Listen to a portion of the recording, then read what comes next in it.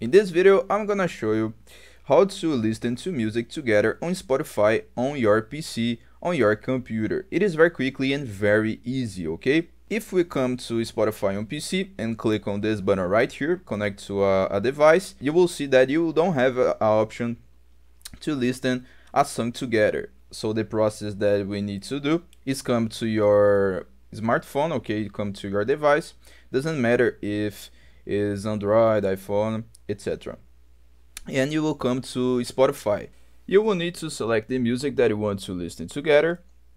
And after doing that, you will click on this icon right here, okay? So click on this icon and here you will start a remote group session, okay? You click on this option or you ask to your friend to, to create a group session, okay? Then you click on invite friends, copy the link. Okay, you can also share it to WhatsApp, Instagram, etc.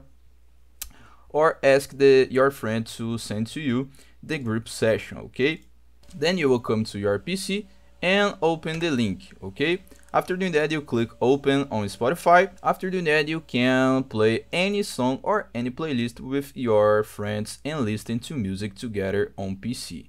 I hope I helped you on how to listen to music together on Spotify PC. So if this video helped you in any way, hit the like button and subscribe to our channel to receive useful tips.